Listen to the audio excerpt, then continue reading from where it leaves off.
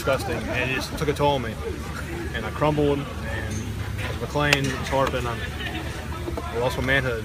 I stepped down as CEO of Beard Gang.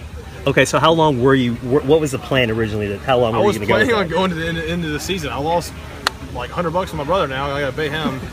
Um, but I just, it, it was just annoying. Like, like under my helmet, like, I, put my, I couldn't like breathe. It was hot. Like when I when I brushed my teeth, I had to like hold my beard down to brush my teeth. And like I just like it come- it came to that point. I'm just like, Now I don't know if Time it's to go. Bailey Coach Venable said- We're confused.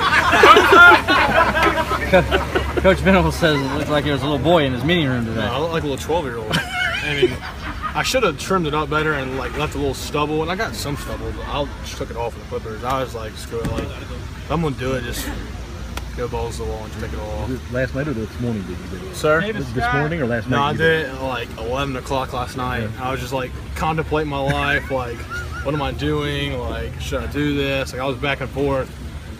And finally, I just went at it, and I was like, oh, I got it now. I had a huge, I had, I had took all this off, and I had a huge go. Y'all saw, like, I had the goatee down here. Yeah. And then I went out with clippers in the middle, had like little master uh, Roshi, a little just like little handlebars. And then I took that off, had the mustache, little Pedro, and then just like took it all off. That's still impressive five o'clock shadow though. If you did eleven o'clock tonight and last night, and yeah, that's not too bad. it'll come. I mean, if I didn't shave by the end of the season, I'd be back where I was, and that was at six months.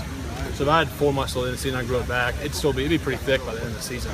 I don't know if I'm gonna do it again. I might. Deshaun Watson. I probably will. I don't know. I'm not, I'm not gonna say it. 'cause I'm obviously not a man of my word. I said I wasn't gonna shave it, and I shaved it. So I apologize to y'all. Making all those articles. Then I made a uh, Twitter Boulware's beard, like literally right when I'm shaving it.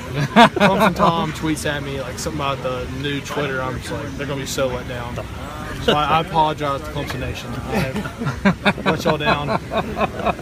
Coach V said you look like a little Bosworth, Junior Bosworth. I mean, I'll take that. he was a legend, so he, I, mean, I, I, I look like a little baby, but compare me to Bosworth, that's a compliment.